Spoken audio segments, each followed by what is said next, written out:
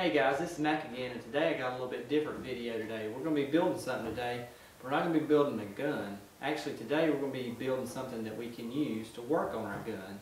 I've been in uh, dire need of a good workbench um, because I've used everything from the kitchen table to the kitchen countertop to the floor of the garage to work on my guns before. So uh, you need a good dedicated area to uh, clean your gun.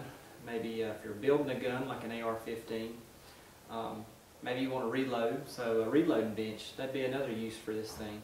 So today I set out to build a very cheap, inexpensive workbench that I could use to do all of my gun work and actually to do a lot of these YouTube videos. So check out what I did today. Now here were my goals with this build. I wanted a workbench that was small enough to fit in my garage, uh, that I could push up against the wall and would stay out of, uh, stay out of the way when we need to park our cars in the garage that has storage, uh, is also tall enough that I can stand behind it or either sit on a bar stool and be comfortable.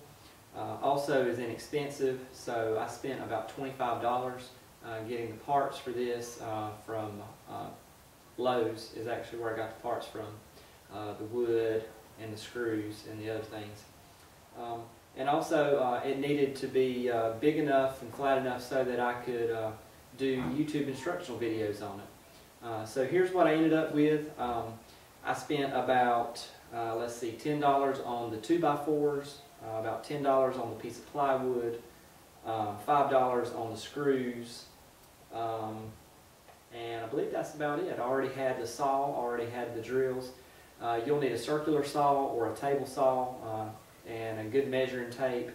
Um, and you know some skills, some mathematical skills to be able to do some math and also be able to take some good um, measurements and good skills enough to use your saw to be able to make exact cuts.